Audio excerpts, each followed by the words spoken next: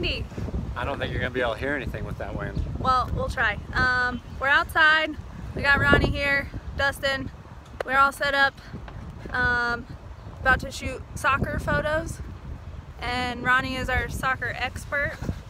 So he's gonna tell us what poses and actions the guys and gals should do. Right? Yep. We're, we're gonna have some fun.